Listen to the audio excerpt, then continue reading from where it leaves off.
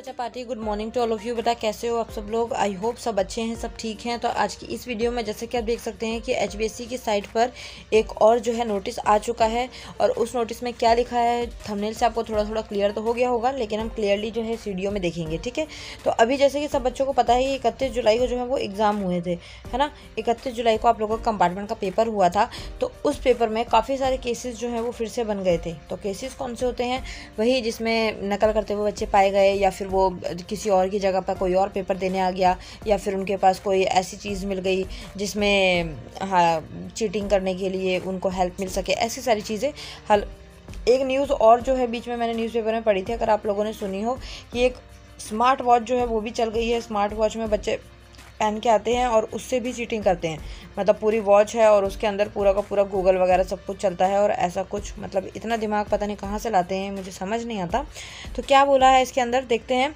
हरियाणा शिक्षा विद्यालय शिक्षा बोर्ड भिवानी द्वारा संचालित करवाई गई सेकेंडरी सीनियर सेकेंडरी जो भी रेगुलर और वो वाले जो बच्चे हैं टेंथ ट्वेल्थ वाले उनका जो जुलाई में भी पेपर हुआ है, जिन परीक्षार्थियों के अनुसूचित साधन संबंधी केस दर्ज किए गए हैं, ऐसे परीक्षार्थियों को बोर्ड मुख्यालय भिवानी पर व्यक्तिगत सुनवाई हेतु 9 तारीख को आना है। मतलब 9 अगस्त को आपको सुबह 9 बजे जो है पहुँचना है, ठीक है? और ये कहाँ पहुँचना है? भिवानी में। ठीक है? भिवानी में आपको पहुँचना है और 9 अगस्त की जो है वो डेट रखी गई है और टाइम की अगर मैं बात करूँ तो 9 एम टाइम रहने वाला है मतलब सुबह के टाइम ठीक है बेटा? ओके और आगे क्या बोल रहे हैं? भिवानी पर व्यक्तिगत सुनाई है और विद्यार्थियों को सूचना देने के लिए बोर्ड कार्यालयों में उपलब्ध करवाए गए मोबाइल नंबर पर भी एसएमएस भेजा जा रहा है।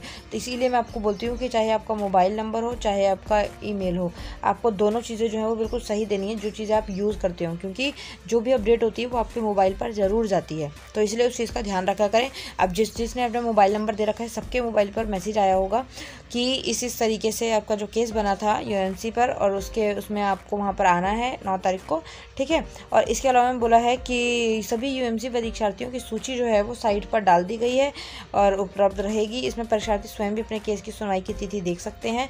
ऐसे सभी यूएमसी परीक्षार्थी नौ तारीख को जो है मुख्यालय भिवानी बोर्ड पर व्यक्तिगत सुनवाई के लिए पहुँचे। तो आई होप ये चीज़ आपको समझ आ गई है।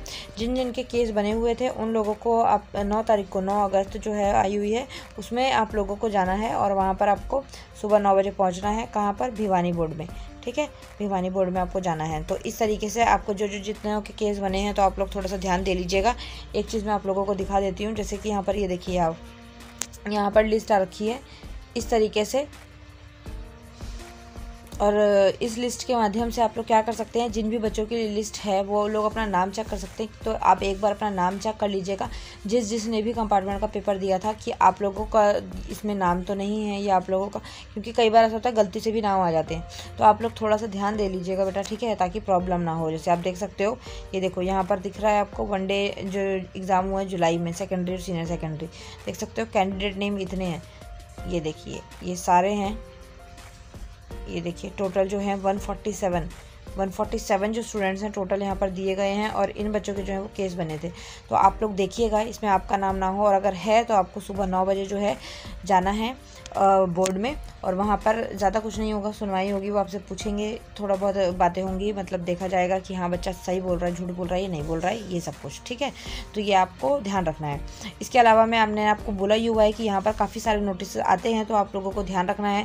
जैसे कि आप ये देखिए, ये तो जितने नोटिस हैं, ये सारे हैं। उसके अलावा में, जब आप यहाँ जाएँगे। ये जो कलर्ड कलर में कलर्ड में यहाँ पर इंफॉर्मेशन होती है, ये देखिए ये देखिए, इसके अंदर practical examiner practical observer bill proforma है।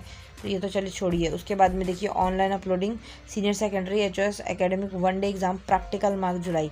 जो प्रैक्टिकल मार्क्स जो हैं, वो जुलाई के जो जोड़े गए हैं, वो जो मतलब अभी जो जुलाई में एग्ज़ाम हुआ, उन बच्चों के, वो यहाँ पर इन्होंने अपलोड कर दिए हैं तो यहाँ से आप लोग ये भी देख सकते हैं। फिर उसके बाद डाउनलोड एडमिट कार्ड वनडे ये तो फिर जुलाई का जो एडमिट कार्ड आया, वो है।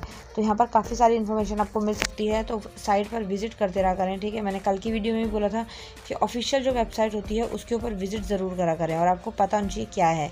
क्या ऑफिशियल वेबसाइट ये देखिए, ये लिखी हुई है B S E H dot org dot in तो इस तरीके से आप इसको फॉलो कर सकते हैं और यहाँ पर अपडेट ले सकते हैं। बाकी कोई भी अपडेट और भी आती है तो हरियाणा के जितने न्यूज़पेपर हैं, वहाँ पर आपको इन्फॉर्मेशन मिल जाती है, लेकिन हरियाणा बोर्ड से रिलेटेड स्कूल वाले भी दे देते हैं और फ़ोन पे भी मैसेजेस आ जाते हैं अगर आप लोगों के ग्रुप वगैरह बने हैं तो। लेकिन आप लोगों को जो उनकी जड़ है, जहाँ से ये न्यूज़ आ रही है, वो भी पता होनी चाहिए, ठीक है? तो ये नोटिस कई बच्चों के पास जो है स्कूल वालों ने भेज दिया है। स्टिल जो बच्चे अभी मतलब जिनको ज़्यादा चीज़ें आइडिया नहीं है तो वो वीडियो को देखिएगा और इस साइट को देख के, इस साइट पर बस आपको जाना है और नीचे नीचे स्क्रॉलिंग करनी है और यहाँ पर देख सकते हैं आप न्यूज़ फोल्डर आ जाता है, यहीं पर सारी न्यूज़ आपको मिल जाएँगी। इसके अलावा यहाँ पर भी मिल जाएगी। ओके तो आई होप सारी चीज़ें आपको समझ आ गई हैं। कोई डाउट हो, कुछ ना समझ आए तो आप कमेंट कर दीजिए। फिर मैं कमेंट बॉक्स में लेकर आपका कमेंट आ जाऊँगी और वहाँ पर आपको रिप्लाई कर दूँगी, जितना जल्दी हो सकेगा। ओके बच्चे? Thank you so much for watching bye bye